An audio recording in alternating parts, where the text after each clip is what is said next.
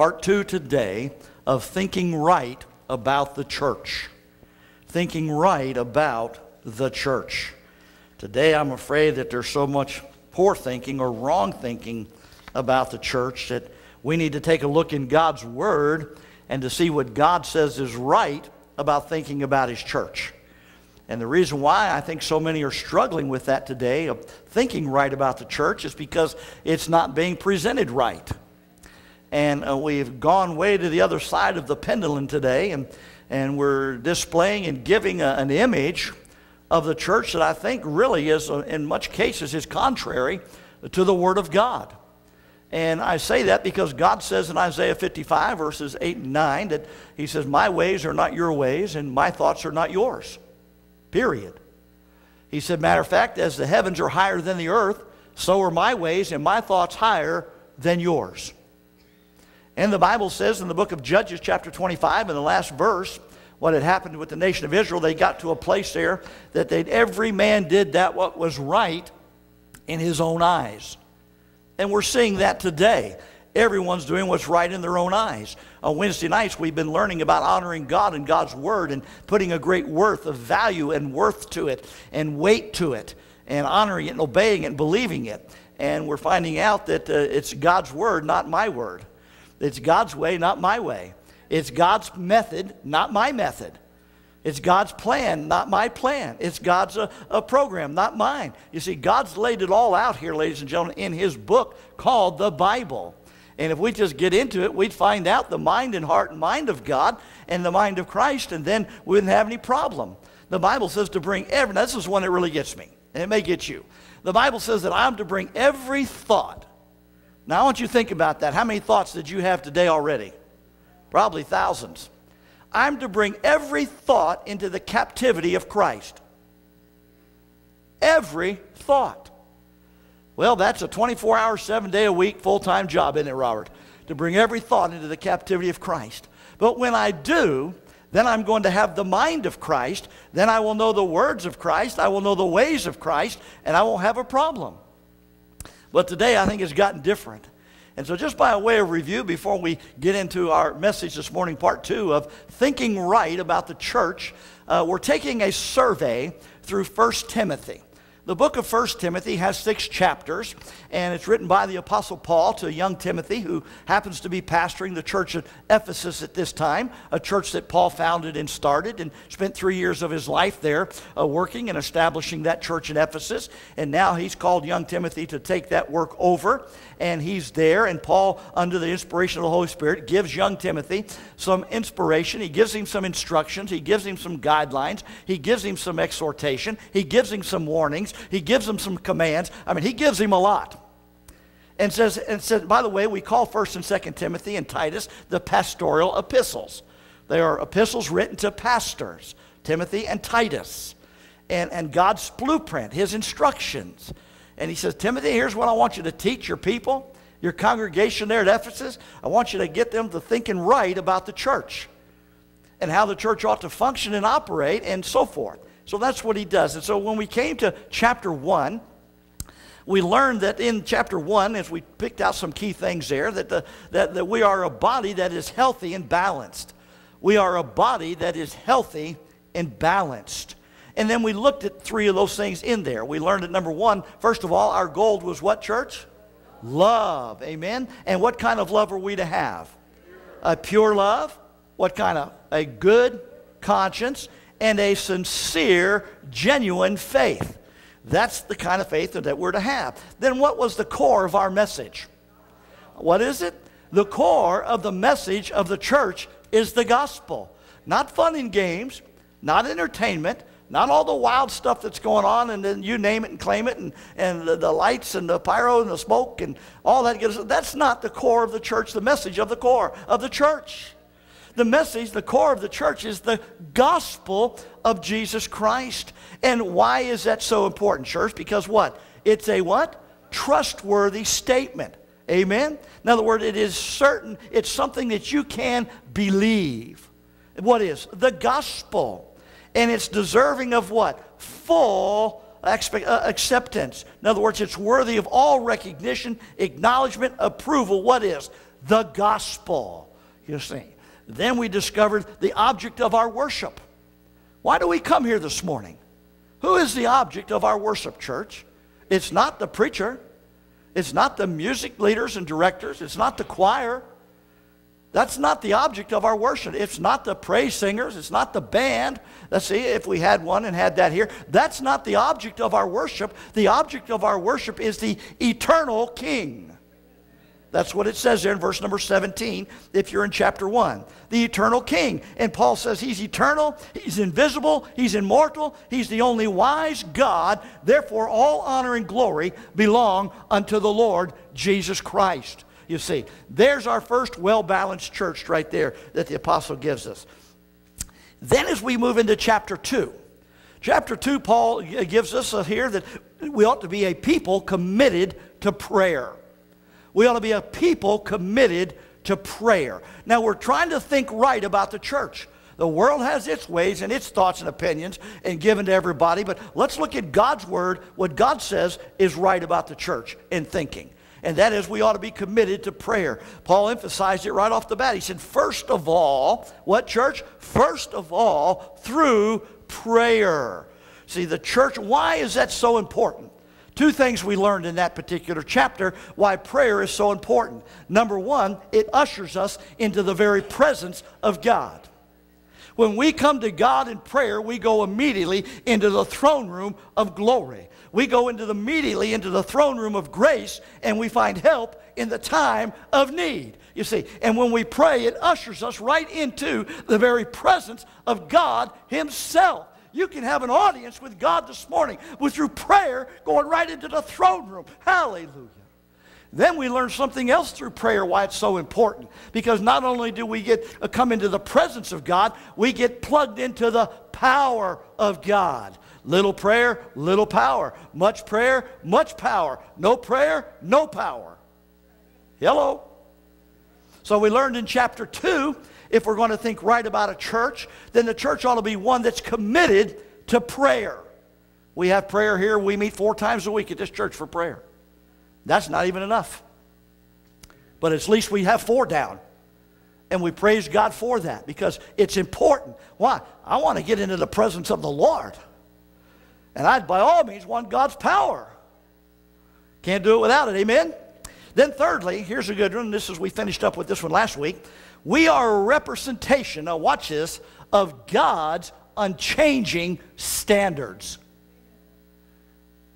Today, the modern church has changed the standards because cultures change, the 21st century's changed, the hype, the hip, and everything, and the modern day contemporary progressive cultural church, we have changed our standards. But may I remind you this morning, ladies and gentlemen, God has not changed his standards. See, if you want to think right about the church, you'd better get into the Word of God, and you better get into Timothy here and find out what God says about it, and you can read it. We didn't go through it, we didn't have time. But you see, we got a lot of self appointed prophets, preachers, uh, apostles, you name it, and uh, claim it, and on down the line, and everything else, and all kinds of uh, qualifications or no qualifications at all to be a preacher. But God hasn't changed His standards. His standards are still the same. They're the same standards that Paul penned 2,000 years ago as they are today, right now. Now, you go home and read chapter 3. God hasn't changed his standards. And the way we live and act and everything, even though everybody else has, and many of the churches today have changed God's standards. I'd like to spend a lot of deal time on this one, but I don't have time. Okay? But here Paul lists the qualifications of the leaders and their positions, 1 through 14. And, and, then, he, then he says that we, who? Us, the church, we are to be, we are the church of the living God. We are the pillar and the support of the truth. And then Paul begins to list qualifications. Uh, the final is Jesus Christ himself is the ultimate standard for us to follow. You see, in doing so, thou shalt save thyself and them that hear. The Apostle Paul tells young Timothy, if we follow God's standards. Ladies and gentlemen, God has not changed his standards. I don't care what the world's done. And it doesn't matter what other churches and pastors and leadership or whatever else or denominations are doing. You see, they're doing what's right in their own eyes. That's what Judges says. They're doing their own thinking, their own thoughts, rather than God's. And that's why everything's changed, and that's why everything's messed up. That's why there's so much confusion. That's why we don't know what's left and what's right anymore. We have people come here and visit this church and they think we're weird. I mean, I've had them tell me that. Boy, it's strange over there. It's not like our church. I said, Well, how's your church? And then they proceed to tell me, and I say, Well, you're right. We're different. We are a royal priesthood, a holy nation, a peculiar people. Today, young people come in here and they say, Man, wow, this is a different church altogether. You guys don't even look like a church. You know why? Because they don't have the right thinking down. They're not thinking right because they're not being taught right. All right, so this morning we're going to pick up here in chapter 4. Chapter 4, as we continue, we are a force for good in bad times. How many believe we're living in bad times? We are a force for good in bad times. Again, that calls for us to be different. Can't be the same, amen? So let's pray together. Our Father, we thank you for this morning. We thank you for your grace and your mercy. Thank you for your word. My, how we love your word, God. It is our instructional manual, it's our training guide. Father, it's our inspiration, it's our exhortation, it's our uh, reproof, rebuke, it's our exhort. Uh, Lord, we just thank you for it. It's awesome. It's our plan, it's our method, is your word. It's our final authority. And we thank you for the word of God today. Father, now we come uh, humbly before you and ask for your help. Father, we cannot stand and preach in this place apart from your help from your anointing, your power of your Holy Spirit. Well, Father, as we now come into your presence through prayer, help us to get plugged into your power. Father, I pray that Christ will be lifted up and glorified and magnified, his name, his church today, above all things, that it will draw all men to him. And Lord, if there's one here today, or those that are watching by television, radio, internet, iPads, iPhones, tablets, Facebook, everywhere that we have it out there, God, I pray you'd reach someone for Christ today and they would get saved. And help those that are struggling with trying to find a right church and the right thinking about the church through the Word of God today. In Jesus' name, amen and amen. Chapter 4. We are a force for good in bad times. Amen. And by the way, take a look at that little note we added there, emphasis here. And if we are not, then we are a part of the reason why it's bad. Are you listening to me, church? We are a force of good in bad times. If we are not that force, then we are a part of the bad times. So let's take a look at it and see what Paul has to give. And first of all, we're going to take a look at some characteristics of bad times. Some characteristics of bad times that we're to be a force in. And I'll draw your attention here. It's in chapter 4, but I also want you to turn over to 2 Timothy, if you would, for just a moment and read with me in 2 Timothy very quickly. Turn over to 2 Timothy chapter 3, if you would, please. And if you agree with any of this in the scripture, it's okay to say amen. Praise the Lord. That's right. Hallelujah. It's okay. We don't mind that here. That means you're in agreement with the scriptures and with this pastor. Know this first. Know this also that in the last days, how many believe we're living in the last days? I believe we're in the last of the last of the last days. Notice, perilous times. That means exceedingly fierce, is what that phrase means, perilous. Exceedingly fierce times shall come. I want to tell you, they've already come. They've come. For men, now, now what's going to identify that? What's going to be the characteristics of that? And if you agree with any of this, say hello, hello, whatever. For men shall be lovers of their own selves, selfish, covetous, boasters, proud, blasphemers, disobedient to parents, unthankful, unholy without natural affection. That's the gay lifestyle. Truce breakers, false accusers, incontinent, fierce, despisers of those that are good, traitors, heady, high minded, lovers of pleasure more than lovers of God. If there's anything that describes today, that's it right there. Okay? Having a form of godliness, denying the power thereof, from such, what are you to do? Why turn away? Why? For of this sort are they which creep into houses and lead captive silly women laden with sins, led away with divers lusts, ever learning and never able to come to the knowledge of truth. Boy, there's a good description of last days. Now let's get back to chapter 4 of, of 1 Timothy. And let's take a look at some of the characteristics, some more characteristics. There was a whole slew of them right there for you, but I'm going to give you some for your study notes. And first of all, notice with me, we find the first three right here in verse number one. We find the first three bad characteristics uh, uh, right here in verse number one. Now the Spirit, that is the Holy Spirit, by the way, speaketh expressly that in the latter times, here we go. How many of you believe we're in the latter times? Okay, here's the first one. Number one, shall depart from the faith shall depart from the faith, that is, that there is defection. There's going to be a lot of defection going on in the church today. The abandonment of the faith, the turning from the faith, uh, the apostate church, the state of apostasy. That's abandoning and turning from the faith. Matter of fact, look at the second one there. Giving heed to seducing spirits. In other words, giving heed to seducing spirits, deception we're describing the characteristics of the last days. There's going to be great deception. Then notice the third one in that verse. And doctrines of devils. Now, when you find the word devils there, that means demons. There's only one devil. Come on now. There's only one devil. His name is Lucifer, Satan, Beelzebub.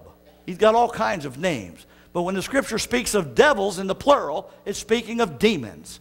And man, have we got today, people are following the doctrine of demons. Now, if you were to go over to 2 Timothy chapter 4, turn over there with me. Little cross reference there. Put that down by those verses, those three there, and look at 2 Timothy chapter 4 with me. Let's look at a cross reference to that. Everybody, 2 Timothy 4? Look at verse number 2. Preach the word, be instant season, out of season, reprove, rebuke, exhort, with all long suffering and what, church? Doctrine is teaching, sound biblical doctrine. Now, why? For the time will come when they will not endure, that word endure means to bear up under, sound doctrine. But after their own lusts shall they heap to themselves teachers, having itching ears, and he's out there in Houston, Texas. And they shall turn away their ears from the truth and shall be turned unto fables, myths, or legends. All right, everybody got that? So here we are, Paul's describing to young Timothy that in the latter days, this is going to be the characteristics of bad times. That's why it's so important we have to be a good force in bad times. Let's continue to look at some more bad times back in 1 Timothy, if you would, verse uh, number of chapter 4 and verse number 2. Let's take a look at the uh, third characteristic in bad times. Speaking lies in hypocrisy. In other words, they're going to speak lies in hypocrisy. Hypocrisy, play acting, pretending, pretending to be or to know or to have what, what they're not. Boy, there we go. Look at verse number three. We find two of them here in verse three. Forbidding to marry. There's, a, there's another one. That's called legalism. Forbidding to marry. Are you with me? Say amen. To abstain from meats which God hath created to be received with thanksgiving of them which believe and know the truth. How many of you believe this morning? How many of you know the truth this morning? Then you go out and eat it with thanksgiving. Amen? We pray every time we eat, Carolina I, before we thank God for the food and ask Him to bless it, we ask, we tell God, we receive this meal with thanksgiving. I don't care if it's a hot dog. I don't care if it's beans and rice or dried cereal. I like dried cereal, by the way. Okay? but we receive it with thanksgiving. I don't care where we're at, where restaurant we're at. It may not like it, may not look good, may not smell good, may not be hot. Sometimes it's even cold. And I don't like cold bacon, eggs, and ham and, and, and flapjacks, you understand? But hey, it doesn't matter. I receive it with thanksgiving, and I give God thanks for it and ask God to bless it, and it just may taste like steak or filet mignon or lobster. Hallelujah. God will make it warm going down. Number three, abstaining from meats. There's sixthly there in your sixth one. Abstaining from meats, that's asceticism. That means self serve, self discipline. It means the avoidance of all forms of indulgence, and typically for religious reasons. Now, we're in bad times, no doubt about it. And you can go over to 2 Timothy 3, verses 1 through 7. Now, let's take a look in verses 6 through 15. Paul now then says, here's what we need to be. Here's the kind of force we need to be in bad times. What are bad times? Defection, deception, demonism, hypocrisy, legalism, asceticism. Okay, those are bad times. 2 Timothy chapter 3, verses 1 through 7. Those are bad times. And Paul says, now, if we're going to be a, the right church and have the right kind of thinking about a right church, then we need to become a good force in bad times. Let's take a look at the good force that we're to become. And we find that right here, verse number, beginning in verse number 6. First of all, number one, we're to be good servants, nourished on what, church? Faith and sound doctrine. Are you listening to me? That is so important. Sound doctrine. Did you know the word doctrine appears 12 times in these two chapters here in 1 Timothy and 2 Timothy? 12 times the word doctrine appears, all in the positive sense, the positive mode uh, concerning the things of God, uh, everything. 12 times sound, biblical, good doctrine. That's teaching, by the way. And the reason why the people today are struggling with trying to believe what is right about the church is because they're not getting sound biblical doctrine. And when they do, we're finding that many of them are abandoning in the faith, turning from the faith, and they're not bearing up under sound doctrine. That's what Timothy said in 2 Timothy chapter 4. For the time will come when they shall not endure, bear up under sound doctrine. That's why he went on and said, Listen, man, young Timothy, you be watchful, you preach the word, be instant in season, out of season, reprove, rebuke with all long suffering and doctrine. And then he says, But watch and do the work of an evangelist. What's the work of an evangelist? He's an announcer of good news that Jesus died to save sinners. Now let's all say that this morning, okay? Here we go. Everybody together. Let's say it. Good news that Jesus died to save sinners. Let's say it again. The good news that Jesus died to save sinners. Every one of you just qualified to be an evangelist. Now go out and evangelize. Go out and tell the world that Jesus died to save sinners. See, we got to be a good force. And notice, good sir, look at verse 6. Let's read it here, verse 6. If thou put the brethren in remembrance of these, this is what he's telling Timothy here. Thou shalt be a good minister of Jesus Christ. Are you with me in verse 6? Nourished up in the words of what? Faith and good doctrine. You see, if we're going to be the right kind of church and thinking, we got to be nourished up in the faith and in good doctrine. Did you notice it didn't say we're to be good servants nourished up on rock and roll? Wild music, lights, strobes, fire, smoke, nightclub, lounges, discos. Boy, it got quiet in here. That's what a lot are being nourished up on today. That's why they don't have right thinking about the church. Tell you that right now. Go out on the websites and look at their auditoriums and their scenes that they've created. And I mean, and, and, and, and Rick Warren is the big producer of that out there in California at Saddleback. I mean, he read his book and read his thing. He says, man, if you want to build a mega church and you want to have a massive church, he gives everything that you're to take away and everything you're to do. And the first thing he says is get rid of your hymnals. He says, get rid of all your crosses in and on your church and get rid of them and take them down because they're an offense. You got that right, Brother Rick. The cross is an offense to them that believe not. But to those of us who believe, it is the power of God unto salvation. Hallelujah. Paint your auditorium black. Bring in the lights, the dancers, the band. If you want to build a mega church, create an atmosphere of a nightclub or a lounge. That's exactly what they're doing. Then we wonder why our young people today wonder, well, how can they even think right about the church? Because they're not seeing a right church. Then they come in here and look at this and say, whoa, there's something different here. You got that right. We're to be a good force. We're to nourish the servants of God on faith and sound doctrine. Look at verse 7. Verse 7, he says, But refuse profane old wives' fables and exercise thyself rather unto godliness. Number two, there, we're to be disciplined we need to be disciplined disciples whose goal is godliness. Whose goal is to be godliness if we're going to have right thinking about the church. Number three, exemplary teachers sharing the hope of Christ. That's found in verses 10 through 13 there. He talks about Timothy being a teacher, being a, a serving as a pattern, uh, being a commendable teacher of the Word of God, and to share the hope of Christ.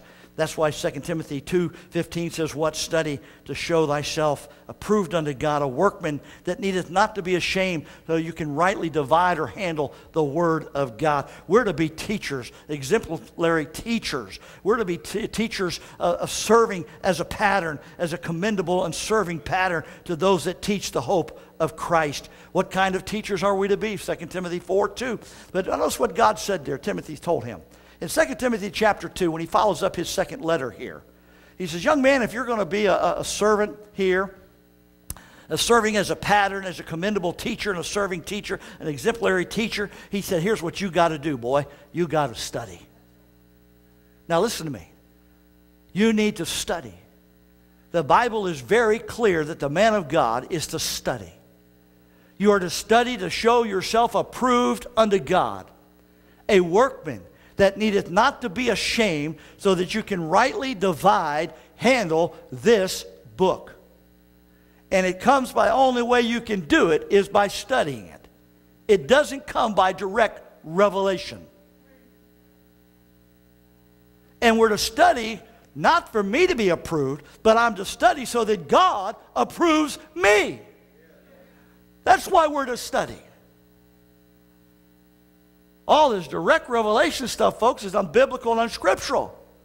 I have all the revelation I'm ever going to have or want to need or got right here in these 66 books. Some 33,000 chapters and some 700 and something thousand words. I got all the revelation I need right here in this book. All I got to do is get it and study it so that God will approve me. Not running around town doing everything, all then going here and there and there, and go home, fall on the couch, get a 20 minute power nap. On my way to church, all of a sudden I'm going to get a direct revelation. Then I'm going to get up and preach you a message, and you're going to shout and stomp and holler and all say how wonderful and great it is. And then that's going to build my head and my ego so big that I think you guys are just wonderful, and you think I'm the greatest preacher that walked the planet of the earth because I got direct revelation.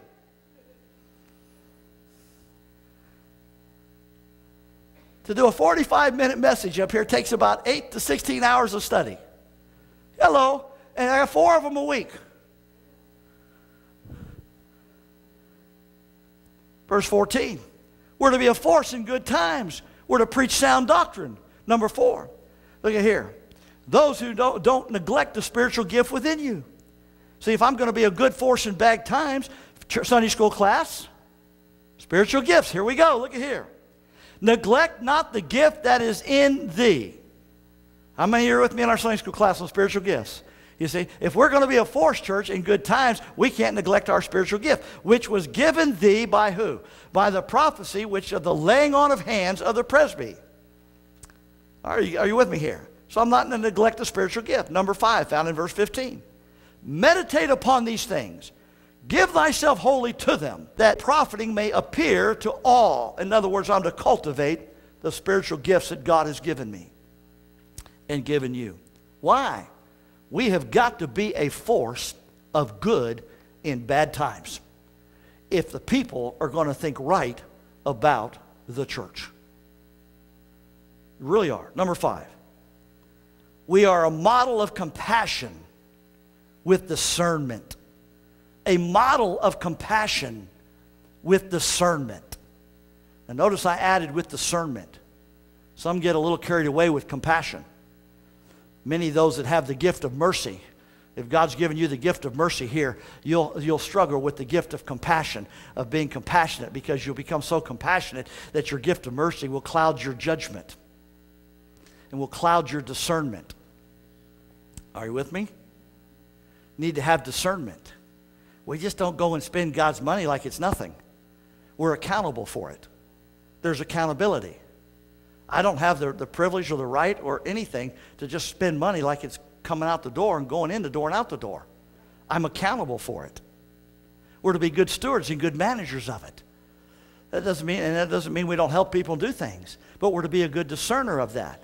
How many have we had here and come? And uh, uh, we used to, over Bible Baptist, that was one of my responsibilities was taking care of all these people that would come by and knock on the door and want gas and food and money. And, and uh, uh he would say, they're yours, go get them. And, uh, uh, you know, he'd look out the window and open the blinds. And, and, and I said, okay, great, here we go. And I mean, the stories that would be told and this and that and, and everything. And then they need this and need that. And so you, you know, and you just don't give it. You have to have discernment. You need compassion with discernment. They'd come here and they'd ask, and then they'd say, oh, My tank's full, empty. I need gas to, to get here and get there. And say, well, Could you buy me some gas? And I say, Well, okay, uh, we could possibly do that. Uh, can I have the money? No, no, we don't give you cash here. But there's a gas station down here, and I'll drive down there and meet you at the gas station, and we'll put some gas in your car for you if you need it. And I've said, Follow me to the gas station. I've gone this way, and they've gone that way. I said, Well, I guess they didn't need any gas. Then I've had said come and I said, well, does your gauge on your car work or the truck? Yeah. I said, would you turn the key on for me just a moment? I said, does that, does that gauge work, sir?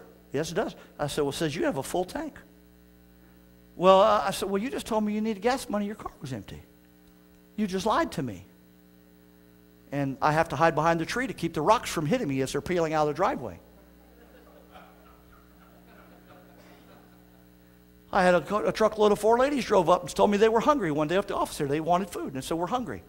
So they had a camper on the truck. I said, well, okay, well, let's see what we could do for you. I said, first of all, now, just let you know, I said, there's no money here at the church. We keep no money here at the church, we absolutely do not. I says, and secondly, I do not write checks.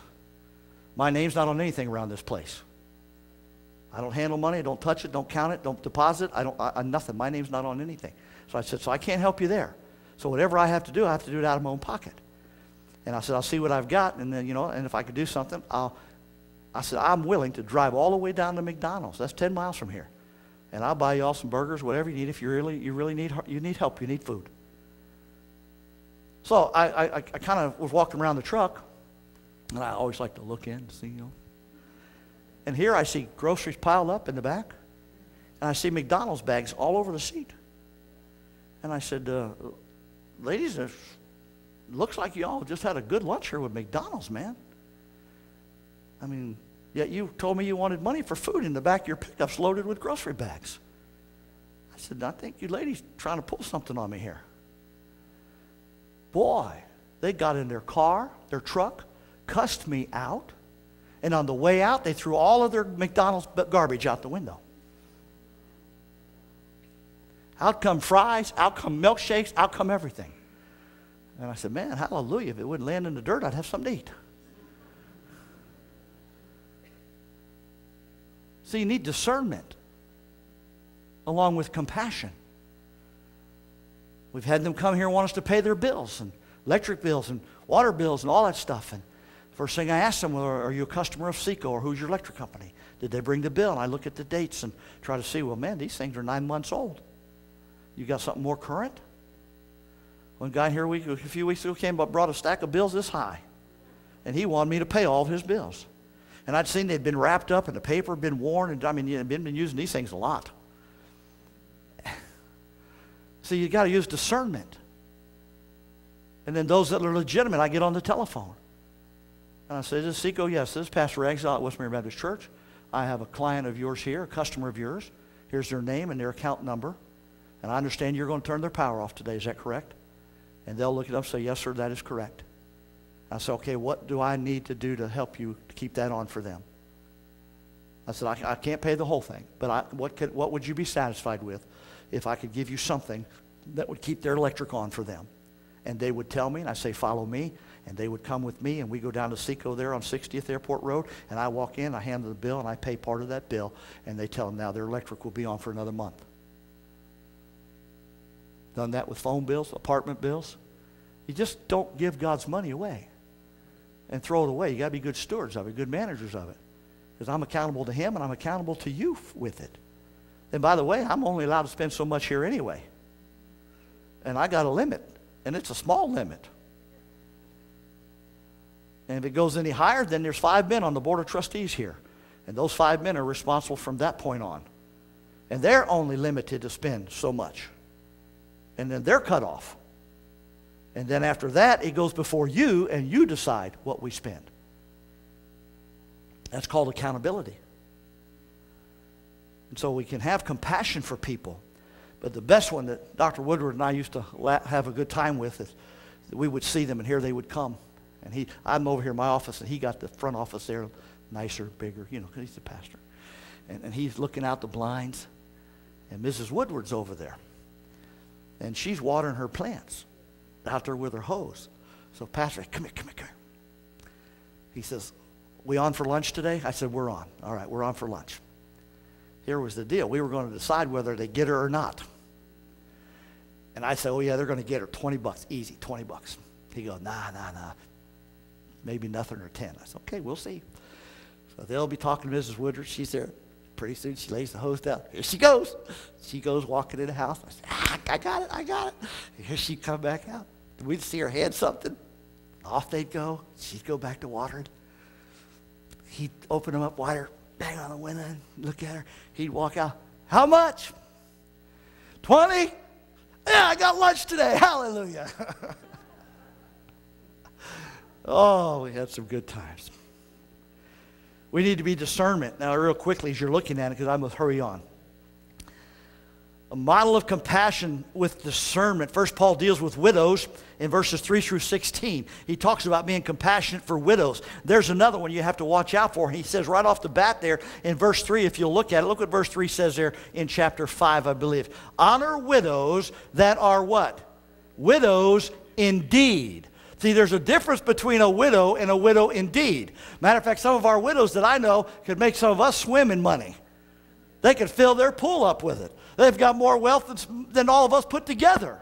And they're well taken care of, and God's taken care of them, and their husbands have taken care of them, and, and they're well off. That is not, they may be a widow where they've lost their mate, but they're not a widow indeed.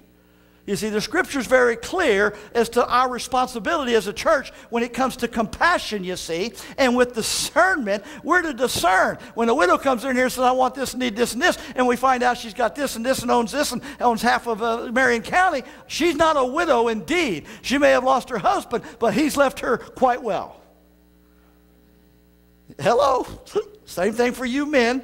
So we learned that, and that's there. Then Paul says, secondly, in verses 17 through 25, he says, secondly, if we're going to uh, be a, a church that has compassion with discernment, we must uh, uh, deal with moral responsibility. Moral responsibility. Paul deals with morals and responsibility in verses 17 through 25, as, as he gives to us here. Let me give you three of them. The first one here uh, we find in verses 17 and 18. Uh, the church has a more, if we're going to be the right thinking, right kind of church, and how to think right about the church, then the church has to have compassion and discernment when it comes to paying the pastor. Hello. Paying a fair salary. You can look at it and see what it says. Now, I know some people scream and skirmish and get all over this. But let's see what God says. Let the elders, that's the pastor, bishop, shepherd, that rule well. So, you know, that's a, that's a quality that I'm allowed to have according to God, a place of ruling. Are you with me? Deacons don't have that. That's, one, that's that ninth qualification that I'm allowed to have. Be counted worthy of double honor, and especially they who labor in the word and what else, church? Doctrine. For the scripture saith, Thou shalt not muzzle the ox that treadeth out the corn, and the labor is worthy of his reward. The church has a moral responsibility to take care of the shepherd. And it says if he's the one that does all the teaching and the preaching, he's to be worthy of double honor. Someone asked me, What's double honor? I said, Well, I know one church in this city how they do it because I was there. They took and had all the men turn in not their names on it. They put no names on it. They just had them all turn in and asked them, each man, what his gross salary was. All those men turned it in, and then the church divided that by the number of men 20 men, whatever it was, 20, 30, whoever turned it in. And, and, and it came out, the average was $400, so we paid the pastor 800 Wow, that was low. The Bible says he's worthy of double honor. Now, I didn't make the standard of the rule, God did. See, but see, we want to change the standard. But God's standard says, no, no, this is the way it goes. And yet so many people cringe about a pastor making a decent salary to live off of. You ought not have your pastor out here eating beans and rice, even though there's nothing wrong with it. He ought not be driving some beat up car or living in a shack down by the tracks and driving an old beat up Cadillac. That's not taking care of your shepherd. Thank God here they take care of me. Wow, praise God. I've been taken care of for 14 years. Hallelujah. Started out here even making less than what I made for Dr. Woodward. And I said, Whoa, Lord have mercy. He just barely paid me enough money to buy a bag of groceries each week. And then gave half of it back to him in the tithes and offer. Ask him.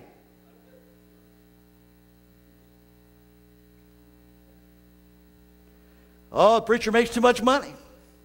But it's okay for you to make a million dollars, but the preacher can't make 10,000. See, something wrong with that picture. I'll tell you what, you show me a church that takes care of their shepherd, and I'll show you a church that God takes care of. Guarantee it. You take care of the man of God that God has placed over you. Those of you that are watching and listening. And I tell you what, God will take care of your church. He'll make sure you got everything you need and then some. And all of your needs will be supplied and a whole wealth of leftover to do something else with if you just simply take care of the man of God and the shepherd that God has placed over you. Quit being stingy. Now, our folks, let me tell you, our church is great. Well, you guys have taken care of us tremendously. Fantastic. And when we've had to back off and slow down and take some away, as soon as they could, they've turned right around and, poof, man, laid it right on us again. We have a good church here, good people. The best. We got the best here. Amen. I'll tell you what, man, I eat good. Hallelujah. Drive two automobiles. Maybe small,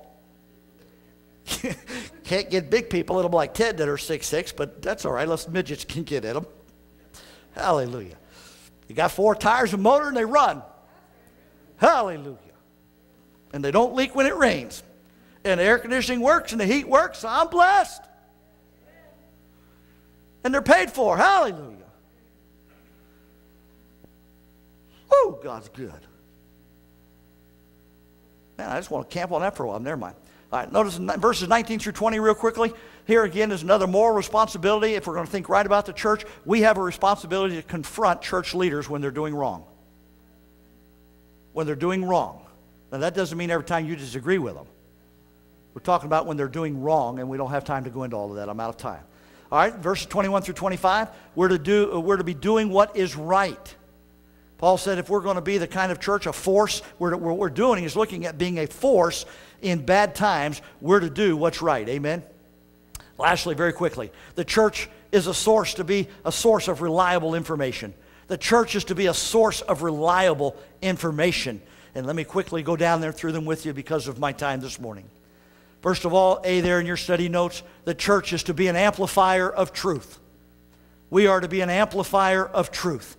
And if you study chapter 6 now that what we're in is we're taking a survey, you'll find that the Apostle Paul deals with at least seven subjects in this chapter. At least seven subjects that he deals with and tells Timothy the truth of these seven subjects. And he said, Here's what you're to teach. You're to teach the truth. The church is to be a amplifier of the truth. We're to amplify truth, sound, biblical doctrine. And that means if we have to tackle issues and so forth and, and, and everything, we must deal with it with the truth and be an amplifier of the truth. And here he talks about them. In verses 1 and 2, he talks about one's occupation. All right, one's occupation. In verse number 3, he talks about doctrinal truths. How important the church has to be an amplifier of the truth of the Word of God, of sound biblical doctrine. That is vitally important. Number three, there, he talks about relational conflicts in verses four and five. We need to be an amplifier of the truth concerning relational conflicts. In verses six and eight, he talks about personal con contentment. Paul says, I've learned how to be abased, I've learned how to have and not have, but in all states I've become content. I know how to be content in whatever state that I'm in. We need to deal with that and tell the truth about personal contentment. Then in verses 9 through 11, and verses 17 through 19, Paul deals with the truth about money. He talks about money. And he said we need to be an amplifier of the truth of money, a source of reliable source of truth concerning money. Then in verse number 12, he talks about number six there. He says we need to be a source, a reliable source of truth concerning priorities. Priorities. I'm going to read verse 12 for you. Fight the good fight. That's our priority, church. Fight the good fight of what? Faith. Lay hold on eternal life, whereunto thou art also called, and hast professed a good profession before many witnesses. Talks about priorities. Then in verses 13 through 16 and 20 through 21, he talks about the prior, uh, he talks about the truth of life itself and a lifestyle. The truth of life and life itself. Look at verse 13. I give thee charge in the sight of God, who quickeneth all things, and before Christ Jesus, who before Pontius Pilate witnessed a good. Notice some words he's going to talk about and mention here. Confession. In verse 12, he talked about professed and profession. Then in verse 14, that thou keep the commandments without spot, unrebukable, uh, until the appearing of our Lord Jesus Christ. Verse 15, which is his times, he shall show who is blessed, and King of kings and the Lord of lords who only hath immortality, dwelling in the light, which no man can approach, and to whom no man hath seen nor can see, uh, to whom be honor and power and everlasting. Amen. Then he talks about a lifestyle in verses 20 and 21. Oh, Timothy, keep that which is committed to thy trust. Avoid profane and vain babblings and oppositions of science falsely called, which are some professing have erred concerning the faith. Grace be with thee. Amen. You see, we must profess the truth of the gospel. There's a lot of people who've made a lot of professions, but they don't possess salvation. There's a lot of people who've made a profession, but they put the profession in the wrong thing rather than in the faith of Jesus Christ. He talked about professions, he talked about faith, he talked about possessions and, and professions. You see, ladies and gentlemen, have you made a profession today in Jesus Christ? Have you made a good, solid biblical profession in the Lord Jesus Christ and professed Him as your Lord and Savior? Have you confessed before Him your sin? Have you confessed with your mouth that He is the Lord? Have you confessed that you've sinned against a holy and righteous God? And by faith, you made a profession in Jesus Christ and trusted Him as your Lord and Savior to forgive you of all your sins and to take you to heaven and to glory someday when you die. You see, if you've made that, you've made the right profession and you possess the right salvation because you have the right thinking about the Lord Jesus Christ and the Word of God and salvation that came from a right Bible, from a true doctrine, you see. And oh, have you made that? And today there's a many that made a profession. Jesus said, matter of fact, many in that day shall say unto me, Lord, Lord. And he also said, Not all that say unto me, Lord, Lord. There's the profession. They professed the Lord, Lord. But he said that not all that do that shall enter the kingdom of God, but he that doeth the will of the Father. You know what the will of the Father is? It takes more than just profession. One must profess with their mouth and believe in their heart, you see. Why? Because salvation is, a confession is made unto salvation with the mouth, you see. And the man believeth unto righteousness with the heart. You see, there are many that have professed to know the Lord, but yet Jesus said, In that day, many shall say unto me, Lord, Lord, have we not prophesied in your name, cast out demons in your name, done works and wonders in your name, and all of this? And Jesus said, Depart from me, ye workers of iniquity. I never knew you. Friend, you better make sure you have the right profession today, and you have professed your faith in none other than the Lord Jesus Christ, who Paul says here, He is the King of kings, He is the Lord of glory glory. He is the Lord of lords, the Lord Jesus Christ. If you've made your profession in anything else, my friend, you're going to fall short and miss heaven because there's only way, and that's through the cross of the Lord Jesus Christ. Do you profess today saving salvation? Do you have a saving faith today. Paul ended that up, that whole last six, seven verses about that. And oh, what a beautiful passage of Scripture. And you know where it came from? He said, Listen, church, Timothy, you'd better be one of, of sound doctrine and teaching in, and a good force in bad times because we're living in bad times. And the church had better be that force available because that's the only way people are going to get saved is to hear the truth of the gospel of Jesus Christ. Have you made that profession today to trust Christ? Have you professed with your mouth and believed in your heart today the Lord Jesus Christ? Those of you that are watching by television right now, those of you that are on the internet watching us, those that are listening on your iPads and iPhones and Facebook and, and tablets that we have out there for you. Friend, have you made the right profession today? And do you possess biblical salvation? Have you put your faith and trust in the Lord Jesus Christ and professed Him only and, and, and, received Him as your Lord and Savior? If you haven't done that, we want to invite you to do so right now. Heads bowed and eyes are closed here in the auditorium. Those of you that are sitting here as well, listen up because maybe you haven't made that right profession. You may have professed something and in something or something, but have you made the right profession? And do you possess genuine saving salvation today? If you have it, my friend, search your heart and make sure you know the Lord Jesus Christ. Make sure today that if you were to die today, heaven would be your home. There would be no doubt, no question of it, because you could honestly say, I have made a right profession today, and I possess salvation. I have professed with my mouth the Lord. I have professed that I'm a sinner and sinned against God. By faith, I have received the Lord Jesus Christ as my Lord and Savior to take me to heaven someday when I die. Friends, that's the only way you're going to make it. And you got to have the right thinking about the church because the church has the right answer, and that is the Lord Jesus Christ. Friend, those of you that are watching with us now, want to look here at the camera with me and look into your television there, your screen and your phones, your tablets. We want to offer you the extension to you to come to Christ today, right now, where you're at, by simply professing with your mouth and believing in your heart. You say, What am I to profess? You're to profess that He is the Lord. That's what the Bible tells us to do. So, right now, if you would, just simply pray, Dear God, that's right, go ahead. I confess with my mouth, You are the Lord. I confess that I'm a sinner and I've sinned against you, God and I ask you to forgive me.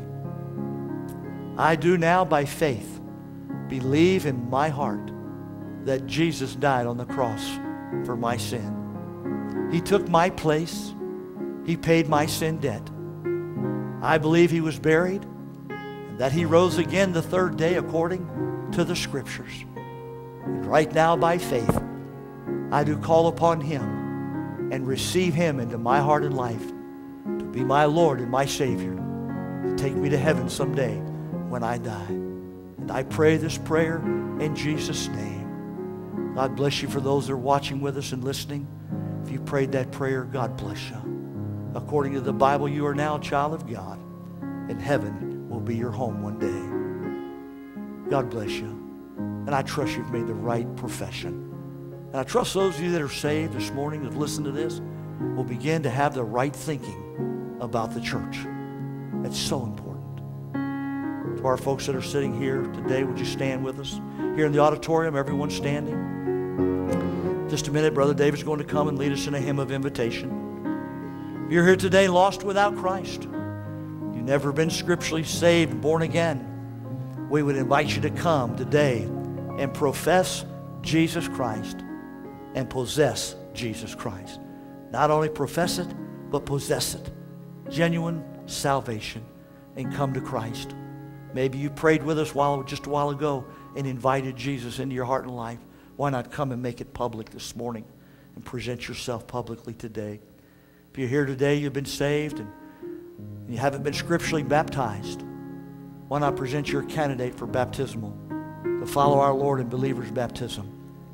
If you're here today and you're looking for a good church home, that maybe has helped you today to think right about the church. Not according to me, but according to God's Word and what God says. They love souls and the Word of God and wants to see the world saved for Christ. Why not come and be a part with us and join with us? Help us reach our world for Christ. Whatever decision that God's laid on your heart. We don't sing very long, just a couple of stanzas. Ask the Spirit of God to move in your heart and life.